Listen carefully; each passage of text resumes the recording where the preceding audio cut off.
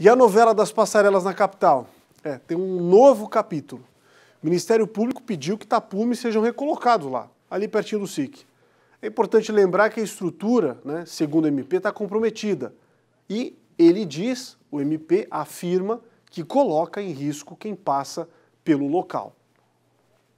Os tapumes que deviam impedir o acesso de pedestres e ciclistas já não existem mais e sem aviso da interdição, o vai e vem de pessoas continua normalmente. Mesmo assim, tem gente que sabe da interdição, mas diz que atravessar a rodovia entre os veículos é ainda mais perigoso. Se não tiver essa passarela, nós vamos fazer como com esse trânsito aqui?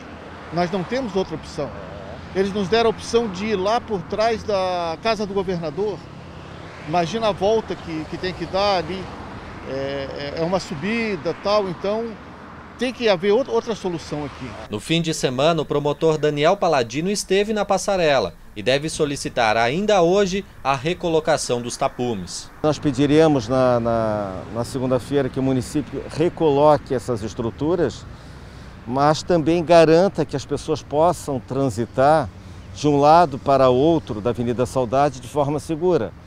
O que vinha ocorrendo é que as pessoas estavam é, atravessando a Avenida da Saudade em meio ao trânsito e ao congestionamento de carros, com exposição da própria integridade física, da própria vida, isso também não pode se admitir.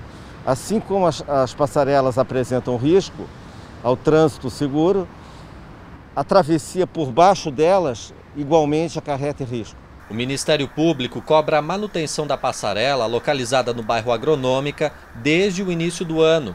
Um laudo feito pela Defesa Civil e por técnicos do CREA constatou que a estrutura oferece riscos.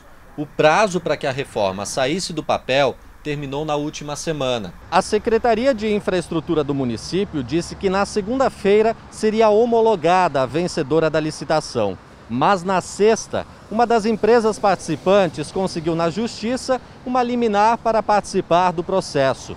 Agora é preciso aguardar mais cinco dias úteis até abrir as novas propostas. A previsão agora é que em 15 dias seja anunciado de vez quem vai fazer a obra. Isso aí para nós é questão de prioridade absoluta. Tá? Nós estamos acompanhando isso há muito tempo, cobrando do, do município né? a reforma e a revitalização dessas passarelas que realmente apresentam um grande risco tanto para pedestres como para ciclistas o laudo da Defesa Civil não mente, né? ele deixa isso muito claro. Então, para nós é questão de prioridade, seguiremos monitorando e acompanhando até a conclusão da obra.